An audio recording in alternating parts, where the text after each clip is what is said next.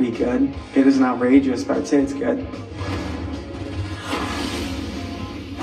Oh, really? You say that, young Jack. Perfect yep. segue to PKGQ. What about it? Well, he's talking about fashion. Half of it's how you look, Jack, and you're already a good-looking guy. But let's go to the dress. Let's go to the wear. He's got the uh, baby. He's got the navy blue trench coat on. That's got to be in Vancouver. He's got the teal Irish pinstripe pants, blue socks to match the blue tie, white shirt, and he's got the white sneaks. So I like this one. Jack, you're off to a great start. I don't know what he's talking. Yeah, clean. Nice. Matty Beniers,